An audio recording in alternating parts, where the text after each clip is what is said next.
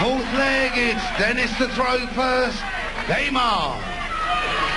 And just when it looked like this man, Priestley, was ready to uh, get the big stick out with a 1-2-2 finish, a truly abysmal shot that uh, Manley back in, but it doesn't seem to have... 140! The sulphurous tongues of Russ Bray. Echo in the action. 180!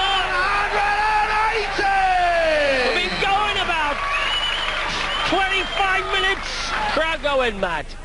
Semi-final living up to what we hoped it would be. Second maximum 184 man leap.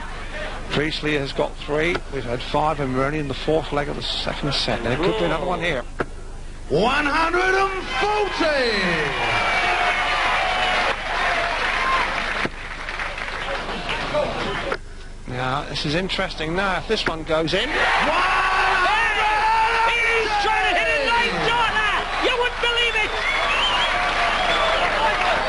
He has scored two maximum 180s. He wants 141 for a nine dart finish and a hundred thousand pound bonus. It's only been done twice on television.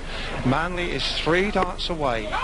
64! Sid wants 141. 80 you require 141.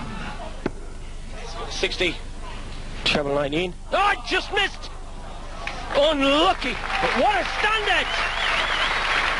What a standard. And yes, we just had more than a flutter on there. 93!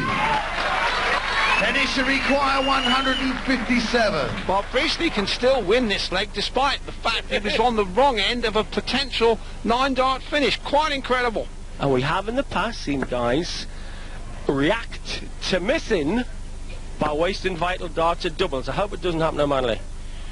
But I've seen it happen before. 60! 80 you require 48. For an 11-dart finish to draw level, now double top.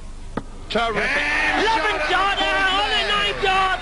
What Wait more do you want on your telly screen? Or if you've come for chips in a pint, to the circus. Fifth leg, it's Peter to throw first. Game on. And you have to acknowledge